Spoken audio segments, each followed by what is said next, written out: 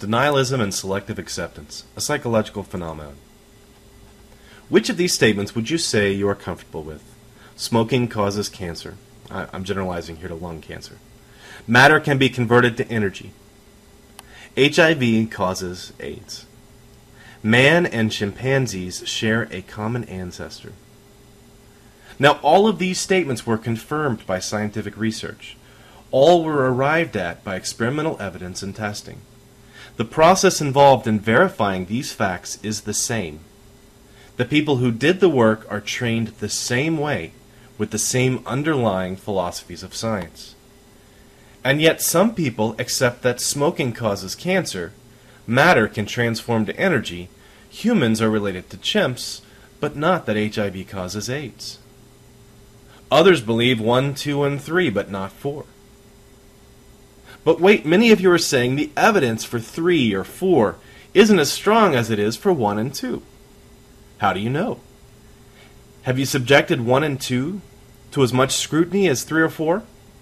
Have you read the scientific papers? Do you buy books on relativity or cancer research? Do you demand that scientists constantly defend the principles of nu- nuclear energy? Do you insist that no one has ever actually observed a tumor forming in a lung?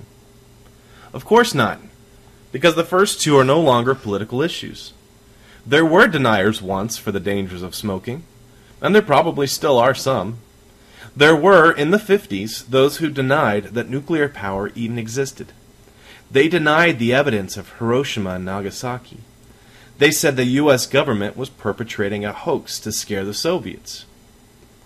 This test illustrates a well documented phenomenon called selective acceptance people apply a different scrutiny to non favored viewpoints than to their own.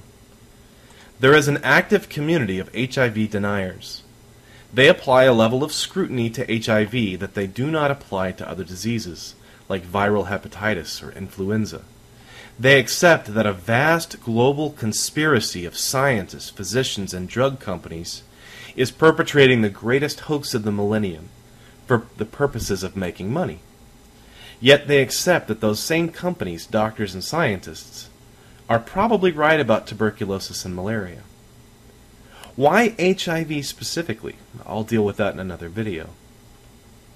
Then there are those who deny the relatedness of humans and chimpanzees, despite the fact that we share over 95% of our genome with them, that we are remarkably similar in behavior and physiology. They accept that scientists are right about relativity, that they are really smart about cancer and HIV, but when it comes to evolution and common descent, those same scientists are suddenly blind, deluded, or deceitful.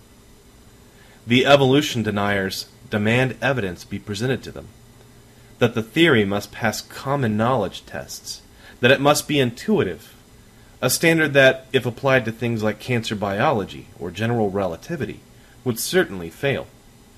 They insist that non scientific alternatives be taught.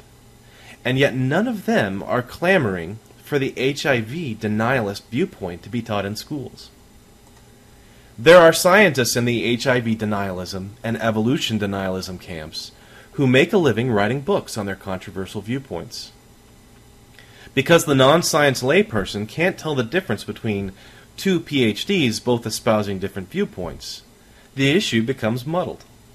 To the scientists familiar with the evidence, there is no debate. HIV causes AIDS. Evolution is a well supported theory. Where does that leave us? If selective acceptance makes all science suspect, any politically charged issue that collides with science fact will lead to confusion and distrust. My advice, and I know this will draw some fire, is that unless you are prepared to really examine the facts, to spend time learning the basics of a field, going to school, visiting labs, talking with scientists, reading scientific papers, doing lab research yourself. The best way to know which side is based in evidence and which is the result of selective acceptance is to look at the number of respected scientists on either side of the issue. For HIV causes AIDS, the number of scientists who oppose this viewpoint is maybe 50 out of a few million. For evolution, the number of scientists who oppose common descent is probably about the same. So challenge yourself. If you are going to deny HIV but accept cancer, ask yourself why you scrutinize one but not the other. And if you reject evolution but accept relativity, can you defend why the same scientists made a mistake on one but not the other?